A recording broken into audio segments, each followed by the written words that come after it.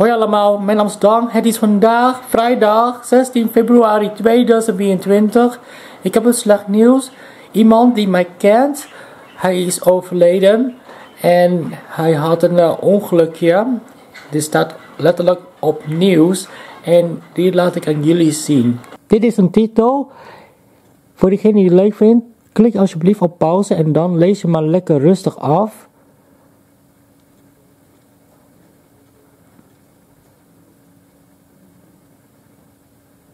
Duidelijk? Mooi zo. Het is jammer dat hij er niet meer is, maar hij kent mij wel. Hij heeft mij gezien via TikTok video en toen op YouTube in het echt. Toen hij mij heeft gezien, vond hij me leuk en heeft hij mij um, gevraagd: Wil je onze filmpje maken voor de visboer? En toen heb ik gedaan en ik laat aan jullie zien. Dank jullie wel voor die haring. Goed geregeld. Ja, Kijk, Daisy, die jonge man. Ja. Even YouTube. Hij zat in mijn vlog toen hij nog leeft. Dat betekent een uh, leuke hond. Dit is een flashback. Kun je aaien. Tegenwoordig, hij is het niet meer. Ik bouw ervan.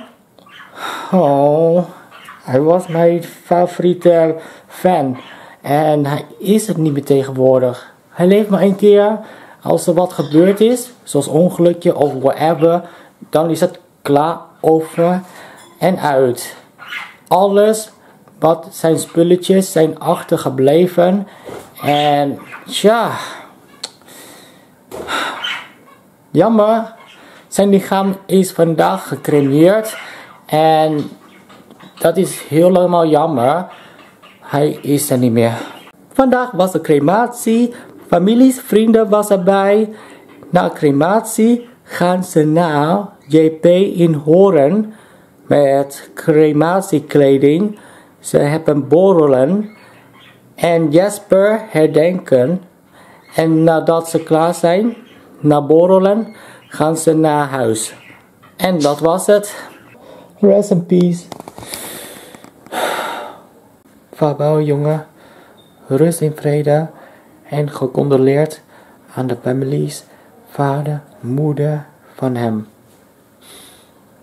Breng deze jongeman naar de hemel. En dan vindt hij wat nieuwe dingen. Bijvoorbeeld op date met andere dame in de hemel. Die hij gelukkig is. En dan op naar paradijs samen. Maar weet je, tegenwoordig moet ik opschieten op zoek naar um, date. En dan um, moet ik zo snel uh, koppelen zoeken voordat ik um, in de toekomst niet meer ben. Voor de zekerheid dan. Want iemand moet ook volgens uh, na mijn dood dat die vlog overnemen. Dus dat is het beste voor de zekerheid. Het is 22 uur en 49 minuten in de avond. Ik ben in Horenstad en ik ga op zoek naar date. Dus ik ga vragen aan leuke dame, wil je met mij op date gaan? En dan krijg ik antwoord van ja of nee. Dus ik ben bij Kroegie geweest. Ik heb gesproken met een dame die zei tegen mij um, een half, maar niet uh, 100% um, een vriendje of wel of niet, maar um, ze zou over nadenken of ze met mij op date wilt. Aan het eind van de dag krijg ik nog te horen, dus uh, het liefst voor 1 uur s'nacht. En dan, um, als ik over nagedacht heb en ze zegt ja, dan gebeurt het of niet. Nou, verrassing. En dan, uh, als het wel gebeurt, dan um, krijg ik een uh, telefoonnummer van haar. Dus het is spannend. Ik ben bij Swap geweest. Ik zag twee knappe dames binnen. En um, ik ging kletsen. Elkaar ontmoeten, leren kennen. En um, toen uh, heb ik gevraagd van, ben jij single? En toen heeft zij geantwoord van, nee. En die andere ook niet. Ik vond het jammer. Maar um, we hebben elkaar uh, lekker gekletst. De rest um, niet gevonden. Ze zijn uh, met z'n tweeën naar binnen toe gegaan omdat ze willen gewoon lekker chillen. En warm en lekker drinken. Dat is het beter leven, meer niets. En toen ging ik naar Oude Waag. En daar zag ik ook een ehm, meiden. En ehm, toen vroeg ik, hoe oud zijn jullie? Toen zei hij, wij zijn 16. En toen zei ik, jammer. Dus hij wil op zoek naar 18 ouder. Zo, hey, mag ik vragen? Uh, was goed? Ja, met jou. Ik Ook heb goed, jou ja. al drie keer, nee, twee keer gezien in twee weken. Ja. In Amsterdam, weet je dat nog? Ja, mag ik vragen, ben jij eh, single? Ja, Cool, wil je met me op date? tuurlijk wil ik met jou op date. Oh, gaan we proberen of het lukt? Wil ik wel even selfie met je maken? Ja hoor. Oké, Ik ga horen, iedereen laten wel let's go. Tot te zien heb ik eentje gevonden, maar die woont in ehm, Friesland. Dus eh Heerenveen, eh, Leeuwarden tussenin. En eh, ze gaan met de bus en zo. Ehm, voor mij, ik weet niet of het een goed idee is, maar ehm, ik zal over nadenken of het echt bij mij past.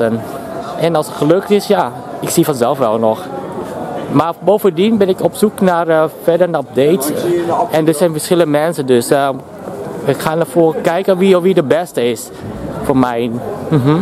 Bij 12 zag ik een hele knappe dame. Die vroeg aan haar, ben je vrijgezel? En toen zei hij, nee, ik ben helaas niet vrijgezel. Toen zei ik, jammer. Anders kon ik met je date gaan vragen, maar ze zei dat wat lief van je, maar helaas ben ik niet vrijgezel. Dus toen moet ik wel blijven proberen, zei hij tegen mij. En toen ben ik naar Kroegie weer geweest. Ik heb eh, ook nogal een eh, 19-jarige dame gesproken, gevraagd voor op date te gaan. En eh, terwijl zij vrijgezel is. Maar ze zeiden tegen mij zo van, ehm, ik heb helaas op dit moment eh, heel druk met ehm, horeca. Bijna geen vrij, maar elke dag eh, werk, werk, werken. Behalve dinsdag. En dan ehm, hebben ze wel andere dingen te doen. En helaas, we hebben elkaar wel een nummer van uitgewisseld. En ehm, kijken we wel proberen. Als het niet lukt, dan houdt het op. Want ehm, ja, moeilijk hè? Om te vinden. Dus we moeten blijven door gaan zoeken. Ik was bij de ethisch geweest. Ik heb daar een hele knappe dame gezien. En eh, ik ging met haar kletsen. En ehm, toen was zij met een vrienden. Maar uiteindelijk ehm, werd zij al verliefd op ehm, iemand die zij al kent. Die eh, hebben samen gewerkt. Dus ehm, omdat terwijl was de eerste van eh, vrijgezel. Opeens eh, springt hij naar verliefd. Omdat ja, ze werkte al samen met hem. Al, en dan ging hij samen met ehm, op stap hier bij de ethisch. En dan ja, gebeurde dit. Wat van jammer voor mij. Maar ja, ik heb mijn best gedaan met shotjes gekocht voor haar.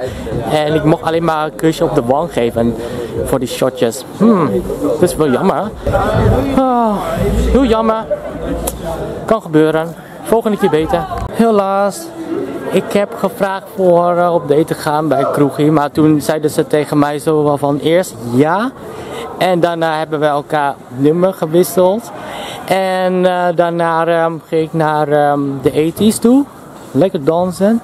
En daarna ehm, heb ik geprobeerd bij een andere dame, maar het werkt niet. Dus omdat zij iemand al kent, die eh, hebben met haar gewerkt en zijn met eh, vrienden. Maar ja, jammer, heb ik geprobeerd mijn best gedaan. Maar vervolgens ging ik terug naar de kroegje toe. En ehm, toen eh, zag ik aan haar gedrag al dat die, ehm, ja, dat die niet zo eh, erg eh, fijn vinden met mij omgaan. En ehm, op date gaan en zo. Maar vervolgens ehm zeiden ze al, ik ben lesbi en ik vind al ook iemand al leuk en dit. Nou ja, zij is nog maar 19 en ik vond het heel jammer. Maar ehm, ik denk dat het beter is om naar Amsterdam te gaan en dan op zoek naar de dame die echt eerlijk tegen mij en ik wil dat zo graag, geen geintjes, maar wel eerlijk zijn. Want als diegene niet eerlijk tegen mij is, dan eh, zeg ik gewoon jammer, fijne dag of eh, whatever. Ik kan niet boos worden. Ik doe niks mee, mee met handen en voeten. Want ik schop niet, ik sla niet. Ik doe mijn best om ehm, te zeggen jammer, jammer, jammer. In plaats van ehm, kapot maken. Maar daar heb ik geleerd van. ehm, en dat vind ik nog leuker als ik jammer zeggen. In plaats van slaan, kapot maken, slaan, ik weet ik wat. Maar goed, ehm, de volgende aflevering ga ik verder op zoek naar date ergens aan de locatie. Maar wie weet, ik hoop dat er eerlijke dame tegenkomen die eh, tussen 25 en 30 zou leuk zijn. En of onder ehm, 25 kan leuk zijn, maar eh, hangt vanaf eh, elke karakter is anders. Elke per verschillende mensen zijn anders. Dus ja, ik ga nu op weg naar, ehm, even denken, JP Koen. Daar ga ik naartoe. En ik hoop dat ik leuke dame tegenkomen. We zullen zien. En dan, dan laat ik iedereen weten. Ik vond best raar. Bij Kroegie was een dame. Zij is 19 en ik vroeg eerst aan haar netjes. Ik wil je voorstellen, leren kennen en eh, dan haar op kletsen. Vervolgens eh, heb ik ook eh, gevraagd zowel van ehm, of zij met mij op date wilt. Maar toen zei hij ja eerst. En ehm, telefoonnummer heb ik toegevoegd en zij ook mijne. En toen ehm, hebben we elkaar even wachten, kijken hoe het verder gaat. Maar ze is 19, ze werkt bij eh, horeca en ehm, haar gedrag is, ehm, ja, was niet gewoon eerlijk geweest. Maar ehm, later, zij heeft tegen me gezegd van, excuses, sorry, was mijn fout, want het was niet met de bedoeling, maar eh, ja, nou, misschien ehm, wisten zij niet zo goed wat hij ehm, ermee bezig was. En eh, dat vond ik heel jammer.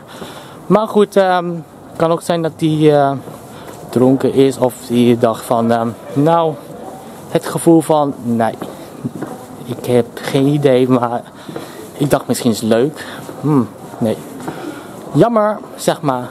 Dus ik heb al gezien hoe dat gedrag is. Ik heb dat gezegd en die haar nummer gewisseld uit mijn ehm, telefoon. Dus ik hoef haar niet. Dat is beter om eh, op zoek te gaan naar dames die eerlijk zijn. Die nog leuker is en grappiger. Zoals een uh, Myron en Enzo en whatever. Ah.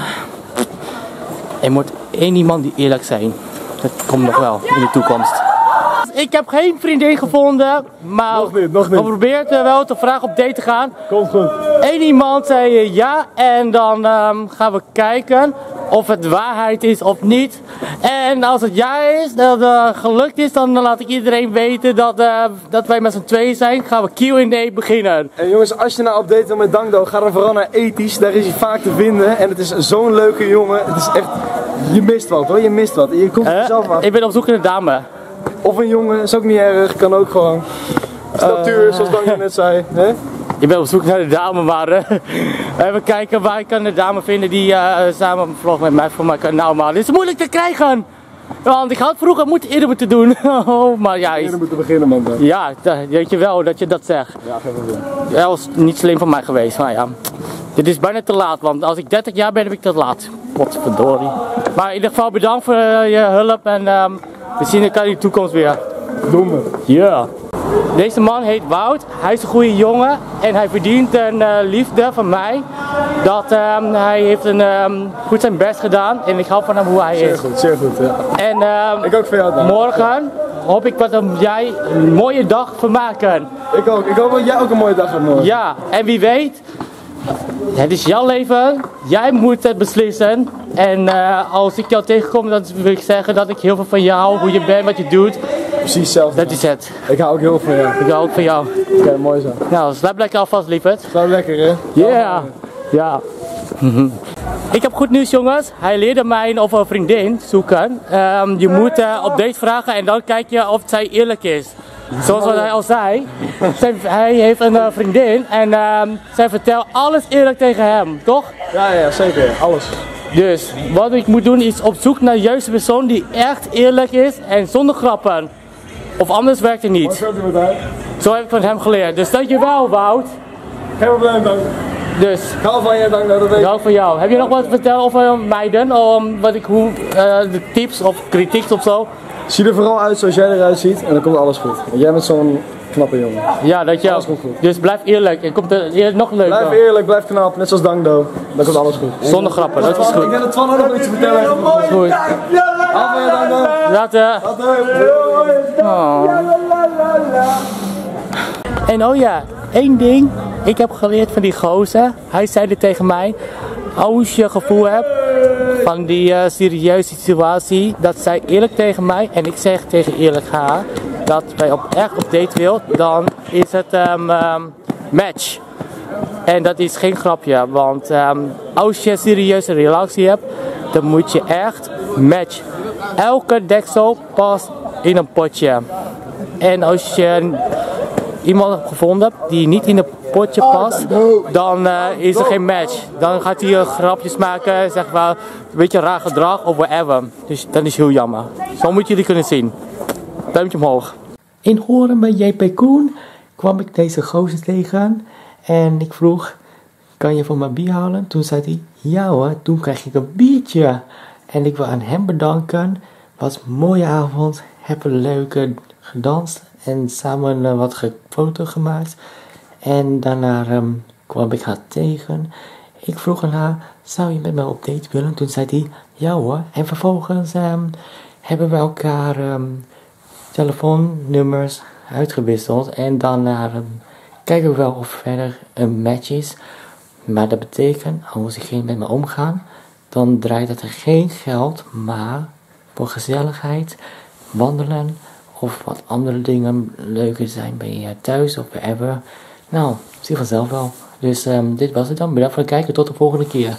Doei!